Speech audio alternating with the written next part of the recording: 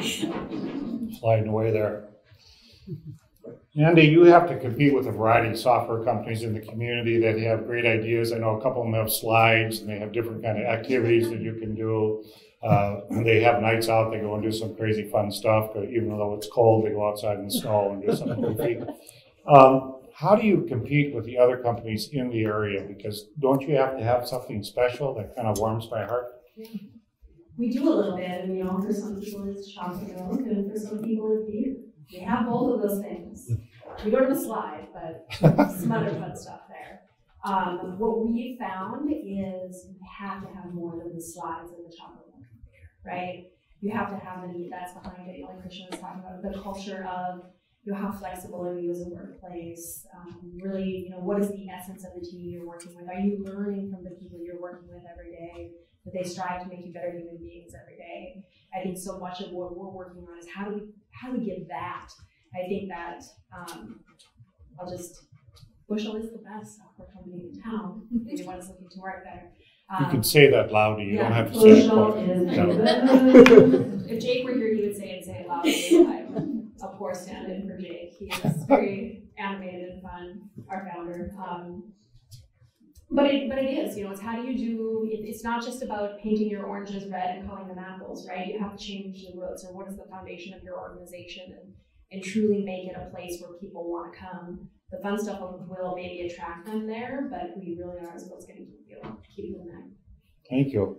You do have index cards on your tables. If there's a specific question, Jane is collecting them and will bring them to me and I'll articulate the question. I know the mayor for Horace is what will bring them to Horace. I don't know who would come to Horace for it. It's a small city. You only have one bar. You gotta get more stuff. I'm working on it. Patrick, you know, sometimes I, uh, one time I taught a class in senior high, just uh, talked about life choices, what we do and where we go. And I asked the students uh, in the class, how many do you know where you're going, you know, next year? What are you gonna do when you graduate from high school? And I only had fifty percent of the kids raise their hand and say, I know what I'm gonna do, I know what I'm gonna do. So fifty percent of the eighteen-year-olds that were graduating had no idea what they were gonna do. How do you help the high school kids choose a path that they want to go down? And obviously, some of them don't know whether they want to go to M State or NDSU. According, they don't know where they want to go. But how do you help them uh, figure out, hey, what, what what should I do next year? Yeah, so there's a lot of different there's a lot of different ways to do that, um, and some of them I think are driven uh, within the school, but I think a lot of those also depend on involvement of employers in the area. So when we're working with the school, we have an application that we rolled out to students where they basically put in the things that they like doing in high school, uh, the classes that they're into, the activities that they do, hobbies that they're into, and we use that to help match them to employers and to careers. Because we want students to understand that all of those different things you can use to figure out what is a good fit for you. Um, one of the examples, you, you might have a student that isn't a very good student in class, but maybe they taught themselves how to write code for their friends, uh, to coordinate like Dungeons and Dragons game night or something like that. That student is going to be a great fit for Bushel. But that student might not know that Bushel exists. So the first thing is like, how do we help students capture that information and make better decisions so that they at least know what their skills are and what companies might be willing to uh, meet them or what careers they might be good fit for. The second thing is, is then connecting that student to Bushel or Bobcat or Sanford or whatever, uh, Gate City. How do we help create those connections so that that student can meet somebody, they can maybe have a real world experience at that company, maybe an internship or a summer job. All of those things are going to help that student then decide, is that company a company I want to be with? Do I like that career? Do I like their culture? And is that some someplace that I can see myself being? And one of the things that I think is so important about all of this is I use the word connections a lot. I think it's so important for our students to feel connected to their employer, to their coworkers, to the mission of the company, and also to the community. And I think those are the things that at the end of the day are going to drive retention.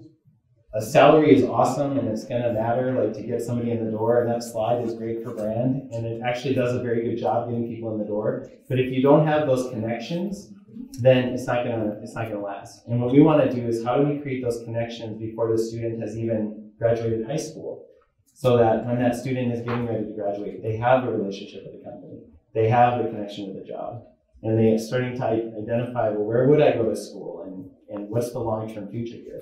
Um, I think those things are all important, but it takes people at the school level, and I think it takes employers to get involved and connect and reach out and get with those students and start to start to develop a relationship with them. So what if you're an introvert? I mean, how do you fight that introvert that has a connection with their iPhone but don't have a connection with other people? yeah, yeah. How do you help them traverse that introvert life? Yep. And not not that software solves everything, but this is where I think our platform can help because we have a process where a student can reach out to an employer within the platform. So it's maybe not at a career fair, it's maybe not at a social event, but they can still raise their hand. Because honestly, there are a lot of careers where the people that are doing those jobs are introverts. And actually, they themselves might not necessarily be good at talking to students or getting connected with them. Uh, people that show up at career fairs representing companies tend to be extroverts. Uh, an introvert would probably have a miserable time at a career fair.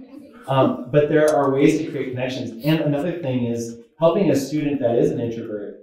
That actually is a secret sauce to being successful at certain jobs. There are certain jobs where actually being an introvert is awesome. So how do we even help a student understand that? So instead of them feeling like something's wrong with me because I don't like talking to people, I'm never going to get connected because I'm not, I don't go work the room. Um, there are jobs and people just like you, and here they are, and here's some careers that you might want to be uh, check out, and here's how you get connected. That's what we want to do. Thank you. Heather, you know, you sometimes think of the banking industry. We got so many banks in town. We got all these banks in town. You've got to compete for that workforce. But what is my goal? Am I going to work at the bank 35, 40 years? I mean, bank teller's kind of boring, isn't it? What is it that you're going to do to entice me to stay with you for 30 years? Which I probably won't, right, Christian? I'll do five career changes at least uh, in my career. If it has a good job culture. Good job. Ted. Yeah. Gate City Bank is the best bank. What, Good what- thing they're not software to be able. then we'd have to have a mediator. We have cookies. No. Yes. Um, I completely agree. Not having um, a slide, we do have cookies. Having a culture that you truly live by, as as we've kind of mentioned, um, you your culture cannot be created by a marketing team. It cannot be the words on your wall. It has to be what every single team member lives and breathes by the mission. For Gate Bank is a better way of life. It's such an easy, fun tagline for us all to really buy a piece of that and and act on that. And what we've learned, especially about our younger talent, is that in fact the statistic is 62% are looking for their maybe first jobs out of college for really that purpose. And Christian mentioned it beyond salary, it's a purpose. How can we carry this out? Um, we also give diamond rings every five years. Yeah. We do. We have people that have worked at Gate City Bank for upward. We have more than one that celebrated 45 and one that just celebrated 50 years this last year. Wow. And of course, you know, starting as a teller, but there are so many departments and so many different directions that you can go in our bank. And just like you were saying, Patrick, um, it's educating our young people all of the different things that they can do within the bank.